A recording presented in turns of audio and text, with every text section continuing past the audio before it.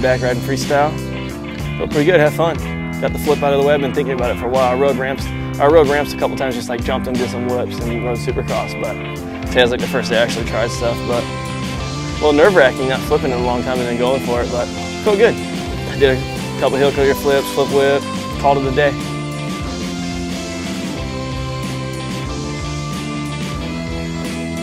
I haven't been up to much, man. I, have been chilling lately. Just uh, got a couple new sponsors. M's up on the hat and on the bike now. Something a little different. You always got to change it up a little bit. There's some Renthals up on my bike now too. Can't mess with those bad dogs. And I'm on a Honda now. I'm not on a green bike no more. So my whole get up's changed this year. I'm pumped. I've just been riding a lot. Filmed a lot last year. I got my movie coming out here pretty soon.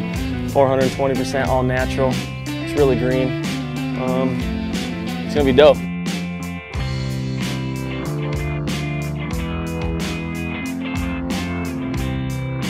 New for me with Etnies, I got a new shoe coming out. I got a couple new different shoes coming out, a couple co-branded shoes. Um, I'm excited for the new stuff that's happening this year, man. I'm uh, been at Etnies for a long time and just got done recently doing everything over again and I'm gonna be there even longer. So I'm excited, man. I like, I like staying at one sponsor for a long time and throughout the years, there's only a couple sponsors that I've done that with before they screw you. You know what I mean? But Etnies has been, I've been with Etnies for the last 12 years, so another 12 coming feels good to be done with the movie. The only thing I miss is going on film trips now. It's always good when you get it done, but you always miss planning those trips and going on them with all your buddies and just hanging out riding dirt bikes.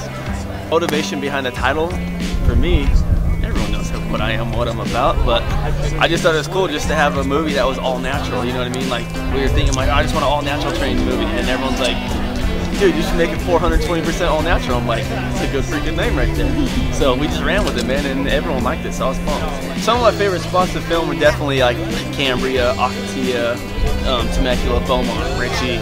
There were so many spots we went to, and they were all so fun. But that was like the one thing I was really pumped on this movie is that it's all natural. There's not one ramp, there's not one contest shot. Like, I didn't care if you're like the very best contest dude in the world and you go out in the hills. If you ain't cutting it, you weren't making the movie. That's why I was pumped. Like everyone I brought out, performed and put good shots in. Like I wanted a movie that just was just all legit shots where everyone was just like, damn, that was dope. Hi, we're here at the 420% all natural.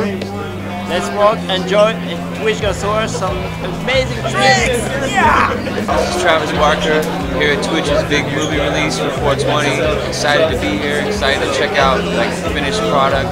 Um, support him 100%. I can't wait to see all the crazy like off-road trails and stuff we did, and uh, just stoked to be here. My favorite spot in this movie, and probably the most scenic and cinematic place I've ever filmed at, is our new spot, uh, Morro Bay in Cambria. That's by far like the raddest spot I've ever shot dirt bikes or anything for that matter at. So I'm, I'm pretty excited to reveal that place to the FMX community in Twitch's 420% all natural. Probably the biggest jump in the movie was, I'd have to say, the, the jump that Twitch flipped at Reche Canyon. It's like a 150 foot gap. It's not even a hill jump, it's a straight gap. And he flipped it, and that's, yeah, straight up, Jeremy has the biggest jump, and he didn't just jump, he flipped it. So he's a badass.